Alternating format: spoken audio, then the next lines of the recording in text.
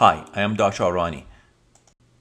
In this educational video, I will show you how HPV vaccine works, the mechanism of action, how it was created, and how does it protect the patient against HPV infection. Almost all cervical cancer is associated with HPV, 50% of vulvar cancer, 65% of vaginal cancer, 35% of penile cancer, 95% of anal cancer, and about 60% of oropharyngeal cancer, that the cancer is responsible for the tongue and the tonsils. And it also responsible for disfiguring warts on those areas as well. There is no way to find out which people will go on to develop cancer or other health problems such as warts after getting infection with HPV. The work to create HPV vaccines was initiated in mid 1980s. The vaccine was developed uh, by Georgetown University, University of Rochester, Queensland in Australia, and NIH as follow. Human papillomavirus has outer shell protein capsid called L1 and minor protein capsid called L2. It is L1 that causes major antibody production and response in human body. Inside the virus there is HPV DNA. Similar structure artificially produced in a lab, but this structure resemble the human papillomavirus does not have any DNA.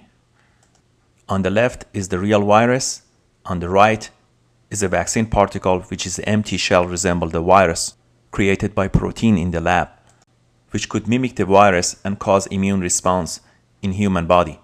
In the lab, L1 protein particle clustered together to create that empty shell as you see in the picture, which mimic and resemble the real virus.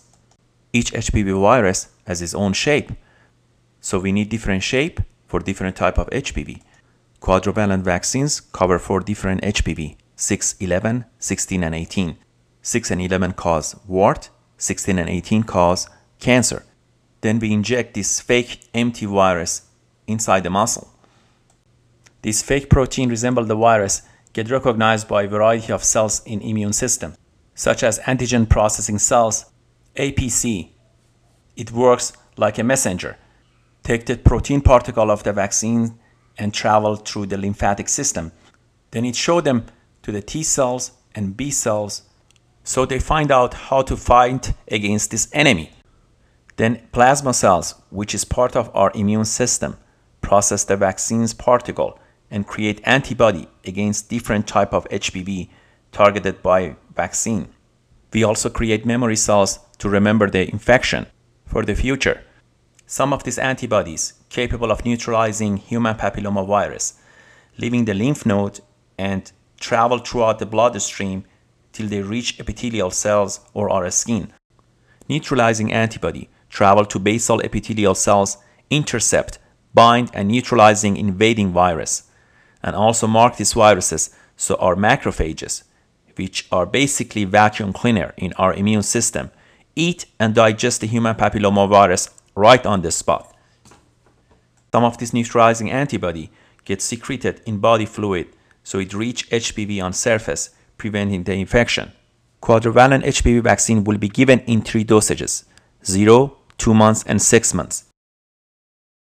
Amount of antibody decline by 24 months, but afterward it remains steady.